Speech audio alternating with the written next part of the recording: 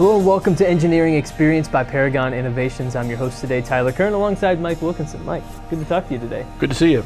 Always good to, uh, to sit next to a, a friend here. And today we have a fantastic guest. His name is Dr. Philip Purdy. He's the co-founder and CMO of Endophys Holdings. LLC, and also the former vice chair of clinical operations at the Department of Radiology at UT Southwestern Medical Center. Dr. Purdy, thank you so much for joining us today. Happy to be here.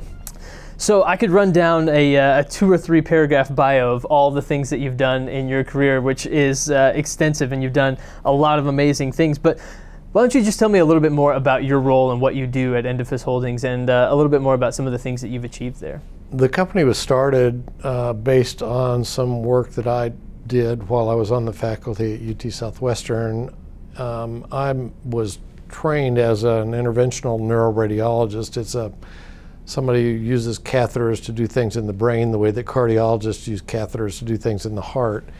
And in the course of doing procedures on patients, I felt that there was a, a problem in the way that we monitor blood pressure during procedures because uh, that technology hasn't changed since before I was in medical school in the 1970s, and and it's analog technology and basically just gives you a waveform, and the patient care monitor uh, derives the pressures from that waveform, and I felt that technology for pressure monitoring had advanced to a point where we should be able to do better than that in in medicine, and so. Um, I started down a road of trying to figure out how to do better measuring of blood pressure during procedures and decided on uh, this fiber optic pressure sensor technology. Uh, the particular sensors that we use uh, take individual discrete digital pressure measurements from 500 to 1,000 times a second uh, down to one or two tenths of a millimeter mercury. So it's much more robust and the fact that it's digital and gives discrete individual measurements uh, uh, enables the possibility of doing statistical analysis and much more mathematical treatment of that data than you can do off of an analog waveform. That's really, really interesting and incredibly fascinating that you saw an opportunity and said, you know what, we can do this better, and you went out and did it. So you hold 24 international patents, including several for the Endophys pressure sensing access system. So tell me about your journey between doctor and innovator, um, and a little bit more about that process, and you know what occurred for you to come to the realization that these solutions were needed in this industry. Well, I was very lucky, uh, honestly. Uh, in the late 1980s, when I uh, was early in my uh, time uh, out of training, and um, uh, we were there was a technology that was developed for using catheters to treat cerebral aneurysms, um, and those are called coils. They're made of platinum and they are, you put a catheter inside the aneurysm from placement in the leg uh, and you run it up into the brain and put it inside the aneurysm and um, uh, introduce these platinum coils to fill that aneurysm. And it uh, was a treatment that supplanted um, neurosurgical operation, removing part of the skull and, and doing it direct open surgery. I um, developed or had some ideas about configurations for coils. And um, uh, I was training uh, uh, somebody. I'd started a program for training interventional neuroradiologists at UT Southwestern, and I was training somebody and, and talking to him about this idea and said, you know, I really need a patent attorney, but I don't even know how to find one. And he said, "Well, my brother's a patent lawyer." Uh, As and, it turns out. And and and so uh, he put me in touch with his brother, and the first five patents that I ever filed were patents related to cerebral aneurysms mm-hmm. and cerebral aneurysm coils, um, and. Um, uh, long story, but I, will try to shorten it for you. Uh, I was I wound up speaking with a company after those patents were issued, speaking with a company called Cordis, that about those aneurysm coils and uh, they were going to license my patents and then in the middle of that process they got bought by johnson & johnson. And then so that took 18 months out of the calendar to do all that and then johnson & johnson wanted to continue on with those patent licenses. And so they licensed those patents. Um, and then over another three or four years the, these things play out in decades. I mean it, it was it was the we were the patents were filed in 1992, and it was um, in the mid 2000s when Johnson Johnson actually started selling coils, um, and but that gave me a royalty stream through UT Southwestern that gave me some access to funds in an account at the university, and then it, as it started growing, I thought, you know, I need to do something with this money because I could either just spend my career traveling and uh, on, you know, it was it was university money, so I could I'd going to meetings and that kind of thing, or I could try to do something, and and I decided to try to figure out to do something, and and so then that was another three years or so, settling on um, what to do with several animal experiments and several um, investigations of different types of approaches.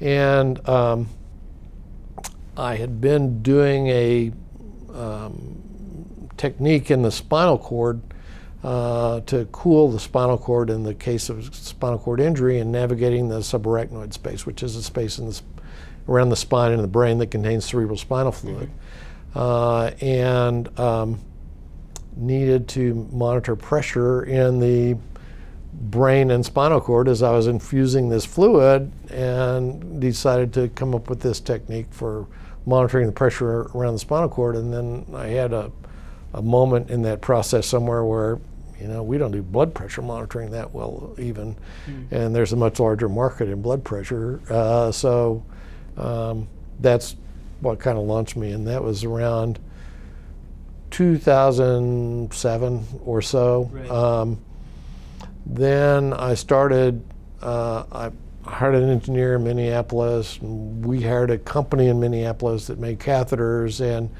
um, uh, then we made trips to several places to identify the pressure sensor technology we wanted to use. And um, settled on a company in, uh, um, in, the United States that, that we were working with. And um, uh, we got to the place where we were, we knew the technology platform we were going to use, and then we had to figure out how to um, make it something that could be used in patients. And that was a, that turned into a medical electronic device project. And um, I, I had already hired an electrical engineer in Dallas to help me with that aspect of it, and he had familiarity with Paragon, uh, and and so he got me and the people at it's called the Technology Transfer Office at UT Southwestern mm-hmm. in touch with uh, uh, Paragon and Mike, and um, um, that's how it started. So, Mike, when you first heard about what Dr. Purdy was doing, what were your first impressions, and what did you think? Well, that was really cool. I mean, I love we love medical devices, and this is just another medical device that um, it sounded really cool. He had already done all the homework on how to what technology to use this in this optical fiber and uh, so we were really excited to get to work with Dr. Purdy and, and, and make a product that he could go to market with. Mm-hmm. So, Dr. Purdy, when it came to choosing a technology partner, you kind of talked about how you, you know, the, the journey by which you came to meet Mike and, and know Paragon, but what made them the right choice for you? Doing a startup, and, and this was sort of a startup that was being done inside the auspices of the university.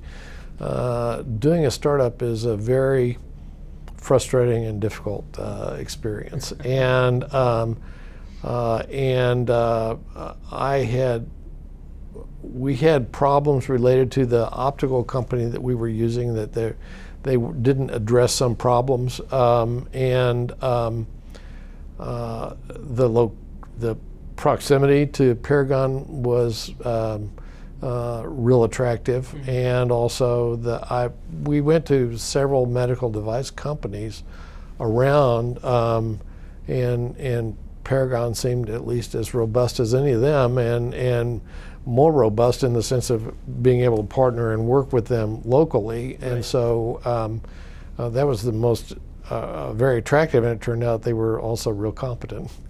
so that was, I mean, that was a real. We fooled them good. Yeah. So, from, from your perspective, Mike, what makes an ideal partner uh, when it comes to partnering together with, you know, with a company like what Dr. Purdy does? What makes an ideal partner when it comes to communication or working together? What, how does that partnership really come together and work well? Well, I think it works well when um, there is a lot of communication. That's the most important thing between um, partners. Um, in this case, we've got an expert in the technology and the medicine side. That's not our expertise. We we're not doctors. Um, we went to school far less, and um, and so they bring to the party exactly what the product needs to do, why it needs to do what it needs to do, and then basically we're the we're the chefs in the kitchen that can take what needs to be done and then build that that device to perform that function. Um, and so uh, working with Dr. Purdy was great because he he knows all that. He's been you know been in the business for a very long time and is a doctor. And then for us to just uh, make the device was uh, more straightforward. So, Dr. Purdy, you know, um, what are the future plans for the Endophys pressure sensing access system? So, what do you, what do you see happening in the future, and maybe what excites you about that? Well, so uh, to to do that, I have to really kind of talk a little bit about how things are done now. Um, uh, blood pressure monitoring since at least the 1960s has, as I said earlier, been an analog technology, um, and um, this technology predated the invention of the personal computer. Uh, it predated all of the the huge, you know, Silicon Valley experience that we've seen over the past several decades. And um, uh, in the lab at UT Southwestern, um, before I was ever in touch with Paragon, I was experimenting with trying to figure out how to use these technologies. And there was a whole catheter d- design piece of this that, that was separate from the electronics. But for instance, um, in, in lab experiments with uh, a, a flow device that I created, um, uh, giving pressure waveforms, um, I, I saw that what looked like this on a waveform on a patient care monitor, which was the standard for monitoring in medicine, looks like this when you start actually breaking it down to, to the eh, with the kind of fidelity that you can get off of these sensors. And uh, I I the thing that it, it was a, it's a kind of a silly thing but it's a telling thing. Um, uh, I took two pieces of tubing. One of them made of silicone and one of them made of latex. They had exactly the same wall thickness. They had exactly the same diameter on the inside of them and I put sensors in each of those pieces of tubing and collected some data off of them and looked at the waveforms. And you can't really tell them apart to look at them.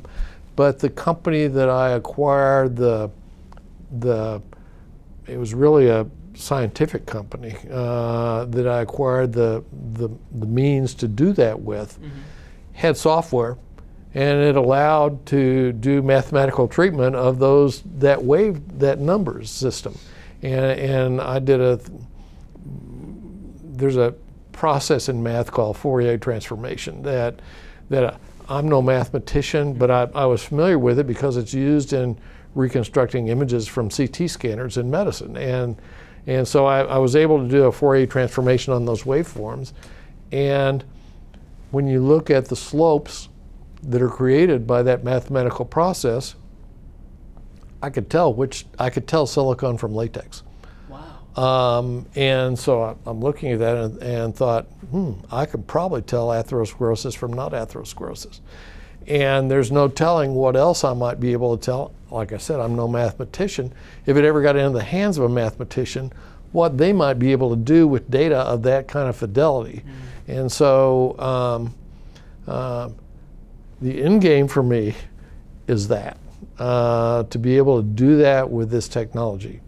Not there yet uh, because you know there have been a lot of bumps. I mean, uh, doing a medical device startup is a lot more frustrating than I ever thought it would be. But but but that's what this is about: is getting to the point where we can look at that kind of data, and there are questions that are very difficult to answer with the um, um, analog device and very simple to answer if we have this sensor because what happens in, in measuring pressures is uh, that you have to have a fluid, direct, continuous fluid channel mm-hmm. from the place you want to measure out to the device that hangs on an IV pole.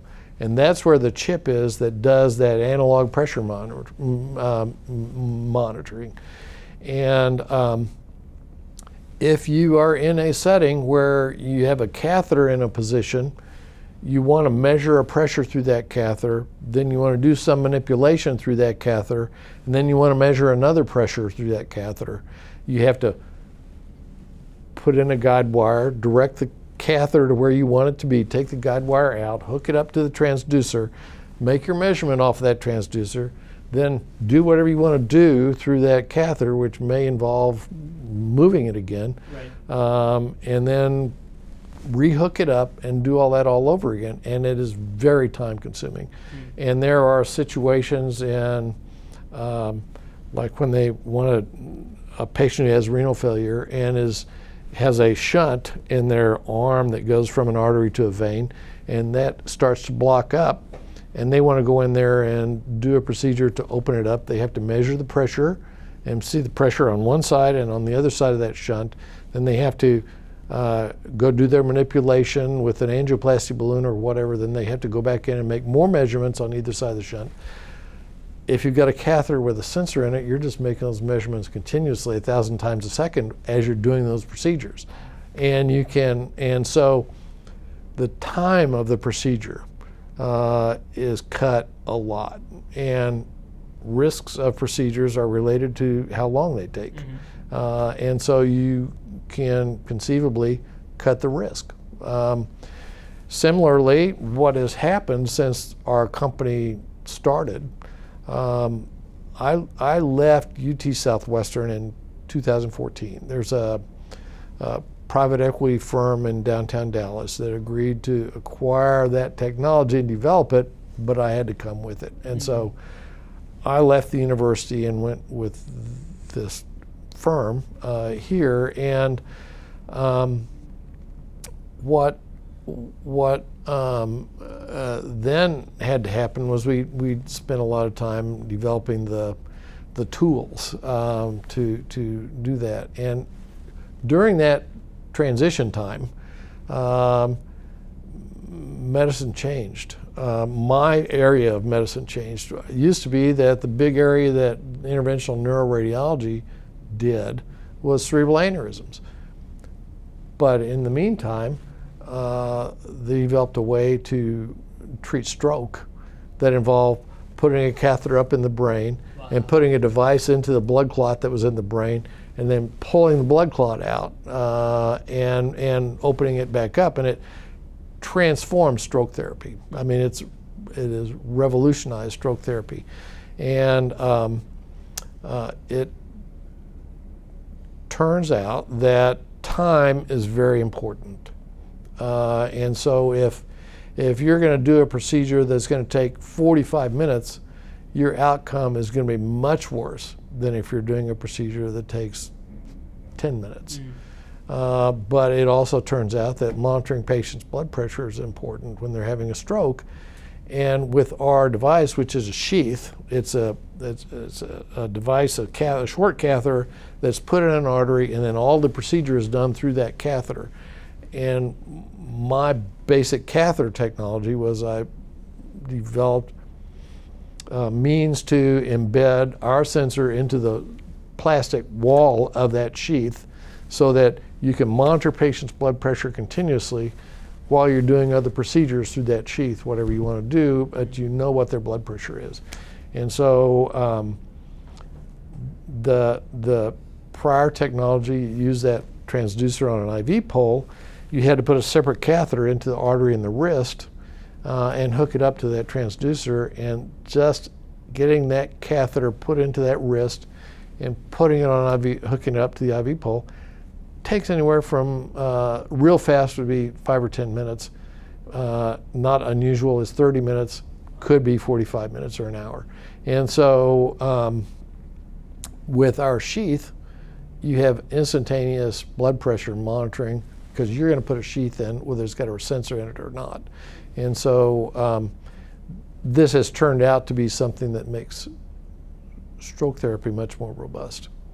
Wow, that's incredible. Yeah, it's been real rewarding, uh, but um, there are a lot of frustrations when you translate from being able to do something in the lab to getting hospitals to pay you for it. Right, uh, right. And those are some of the, what we've been going through. So when you talk about you know saving lives and, and putting devices in patients and, and that sort of thing, it's it's obviously important that these devices are consistently you know engineered with the utmost precision and with the utmost um, care taken to ensure that every product is is functioning and is correct. So you know. Uh, how do consistent engineering processes lead to excellent results when it comes to your products? It's very important that um, uh, the engineering people you're working with know medical device technology and also know medical device regulatory requirements.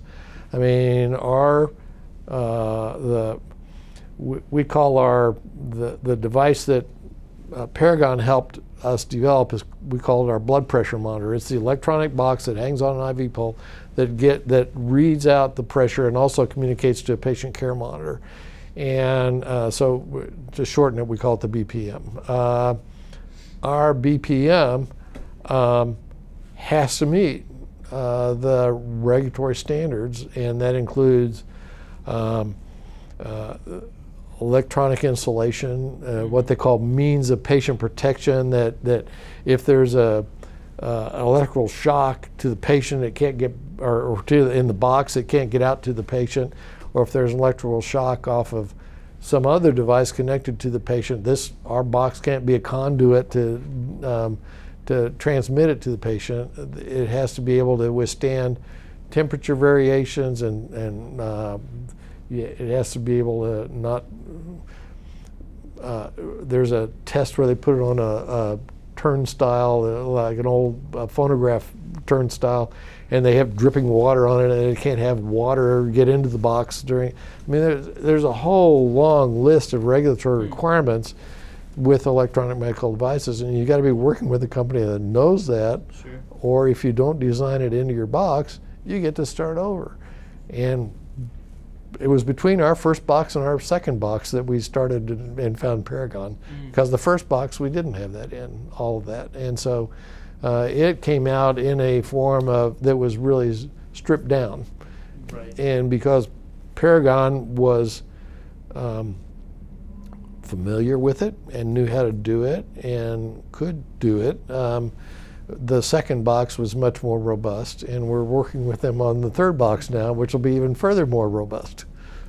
So, Mike, from your perspective, how do you ensure that everything that you do is of the utmost quality? What kind of uh, quality checks do you do and, and, and that sort of thing? so, there are requirements for the FDA. Um, there's ISO 1345, which is uh, design and manufacturing requirements. There's also uh, the Code of Federal Regulations 21 CFR 820, which is required. And to do all that, we basically have to get trained. So our guys are uh, constantly going to uh, uh training events, both online and in person, uh, to keep up to date. Uh, we also use an outside regulatory consultant to make sure that we're up to date on all the new requirements, which are changing, and for medical device. And then just by doing it a lot with a lot of different customers, it keeps us up to date on everything we're doing so that all of our medical customers get that um, quality that they um, need and required. Absolutely. Absolutely. So, Dr. Purdy, you know, you, you, mentioned that you're working on third box now with uh, with Paragon. Uh, talk to me a little bit more about how you see Endophys in the wider medical market, and you know, what's the future of your business, and how does Paragon play a part in that? Well, this is all related to, um, at the end of the day, my learning curve. Uh, that the you know what we did with our uh, blood pressure monitor box was um, add uh, a USB port on the second box mm-hmm. and add a patient monitor interface on the second box. Uh, and then the patient monitor interface then connects directly to a patient care monitor. And um, the patient care monitor thinks it's looking at one of those Wheatstone bridge transducers because patient care monitors have been designed and built around the Wheatstone bridge transducer. That's that's the analog thing that hangs on an IV pole. Um, and so um, we have gotten to the place with that one now where we can talk to the patient care monitor and that gives our data access to the patient medical record, the electronic medical record. And so that was a real plus. The USB port um, has the ability to collect the, that data and to do mathematical analysis with it, uh, statistical analysis. That's something we haven't done yet, mm-hmm. um, but so that's on the horizon. Um, and um, uh, the uh, one of the regulatory issues that we have to solve with this version uh, is getting away from um, is getting to be able to use it in a, the broader hospital environment. Right now, we're kind of restricted to the cath lab environment, and and uh, some of that is related to regulations that are in a cath lab are different from regulations that are in an intensive care unit, in an emergency room, et cetera, et cetera, and we're trying to be more generally applicable across the patient care uh, experience in a hospital because patients move from place to place inside a hospital. They come in the emergency room, they're hooked up to a patient care monitor, but that patient care monitor is bolted into the wall in the emergency room. Right. So then they go over to the cath lab and they get hooked up to a different patient care monitor, which is bolted onto a stand in the in the cath lab. And then after the procedure, they go up to the intensive care unit and there's yet another patient care monitor, not counting the one that they're hooked up to to be transported from the cath lab to the, to the patient to the um, ICU. And so, so there are a lot of changeover uh, experiences that this goes, this technology goes through um, as a patient is transported around in a hospital. And um, each time you connect to a patient care monitor, you have to um, what they call zero the monitor. In other words, the, the monitor, the patient care monitor, has to observe what atmospheric pressure is and then based on that atmospheric pressure, you know how high the systolic or the diastolic pressure is because it's that many millimeters of mercury above the atmospheric pressure. Right. When our sheath is put into a patient, it doesn't come out. Uh, so there's not currently a way to zero, to re-zero to a new patient care monitor, et cetera. And so that's one of the things that we're going to uh, put in this so that, it, you know, it'll become a more generalizable hospital experience uh, for that device. That's fantastic. Well, this sounds like a fantastic partnership that helps people and is very beneficial and has to be very rewarding for the two of you to work on. And so it is. I agree. Yeah, absolutely. Well, it's been a pleasure getting a chance to learn a little bit more about that today, Dr. Purdy. So thank you so much for joining us here on Engineering Experience.